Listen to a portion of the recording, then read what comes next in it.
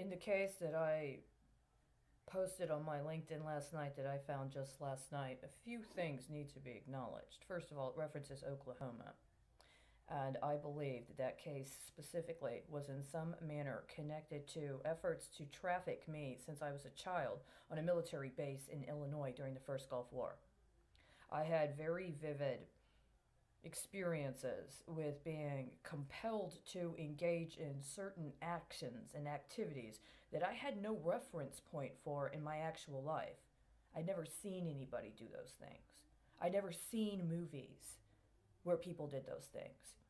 It would have seemed to have come from my imagination. And when I was the age I was, which was between fifth and seventh grade, then it made sense in a particular way. But I now know that that's different.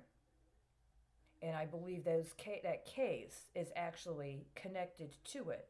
That while that case was being initially prosecuted prior to getting to the Supreme Court, that part of how you get a case to the Supreme Court involves being able to accrue leverage and being able to present it and to have it be able to make a statement about the state of the system of jurisprudence in this country at the time it's allowed to be heard before the court and the time during which you're waiting for the opinion and the opinion is issued.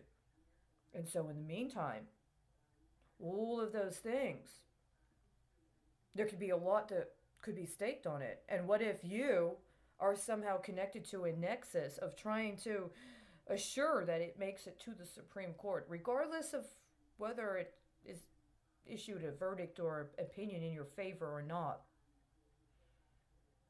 I had very vivid visualizations that are directly referenced in that case. And not only are they directly referenced in that case, say if I could go to the library, I could go into the library and I could check a hard-covered book. I know where to look. I know exactly where to look for that. To assure that what's presented online is an authentic representation of the official record of that case. Because what's presented online right now demonstrates that no less than two targeted assassinations of people occurred based on cases referenced in that specific case. Two, and not only that, it is very possible that the hedging strategy for the last two years connected to the agrotech sector is also connected to that case which would then also make a very big difference in terms of identifying the correlations between my mother's death and my effort to present a case in the federal district court. Would somebody have actually maybe placed a mark on an option that when I was a young girl, I was engaged in some process, like, say, being selected for a gifted class? And that at some point down the road, I may actually be involved with a case it's presented in a particular context or maybe a specific area. And so that the lawyers or the judges involved with the affiliated professional society would get their delivery. Because that's what I believe is happening. Now, on the other hand, in that case, it discusses distinctions between double jeopardy and the concept of evidence and how the same evidence may be evidentiary of more than one charge. It also makes distinctions between committing to the conspiracy and actually engaging in crimes associated with the conspiracy. And not being convicted of one at one time does not necessarily preclude being able to be charged and prosecuted for the other. I intend to deliver on that for myself. It was posted yesterday, and now my concern is that in May of this year, there was an alarm that was sounded for those who knew how to hear it. They were discussing how, despite what's going on with COVID 19, that there might be some aspersions cast on uh, recipients of the assistance that was being offered by Treasury including companies that were identifying as being eligible for the small business assistance that didn't explicitly qualify as a small business, while other people who did were left languishing for a while. You know, it may be fortunate or unfortunate that I was told on site here in Dallas that during the S&L crisis, one of the things that happened is they set up assembly lines for applications on loans. And you would flip the loan application several times in the course of the day, hoping at the end of the day that that loan application, via those derivatives flips, or the period of time that they were literally being flipped, would help pay off at a greater rate than what had happened going in. But meanwhile, what if you're trying to get the loan yourself? You're waiting for them to process your loan application, and somebody else has taken it and is flipping it. And then what they're going to come back and say, I'm sorry, I can't help you today. I know exactly what that's like. They've done it to me consistently for at least five years that I've been actively tracking. They take my information, they take my case filing, they take my grievance, they take my report, and they flip it, and they flip it, and they flip it, and they always trash me at the end. And basically, I'm supposed to do it again, except next time, I'm supposed to do it with a better attitude. What are they going to do with AIG? In these books I have right here, and in other things that were publicly accessible, both in print media and on the internet, they discuss what happened when AIG had to be turned over to the Treasury for a while during TARP and later TALF. And one of the things that happened is that the government of the United States actually became a primary shareholders regarding interests associated with AIG. Now, one of the accusations that I've had for several years, by the way, is that there was something very disingenuous about TARP and its payout to the major financial institutions. Specifically, that some of the assistance they were offered was in the form of loans.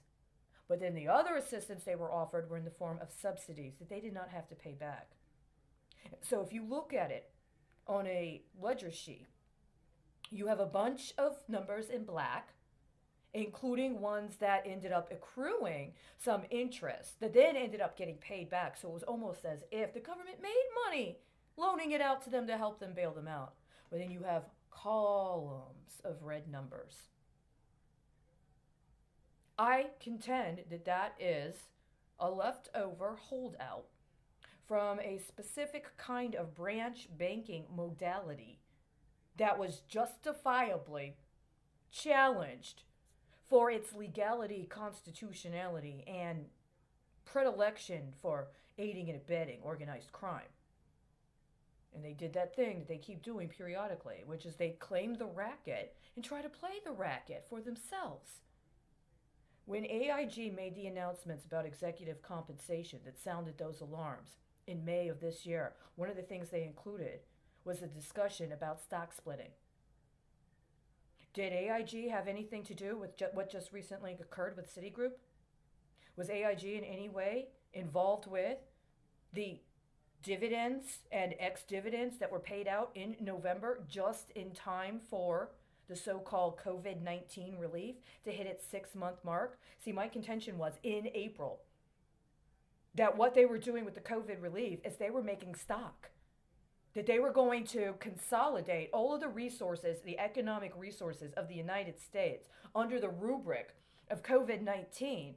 And then they were going to hook up deals with various financial institutions in order to give themselves and their most favored uh, uh, national actors status kickbacks in the form of the combined stock of the people of the United States.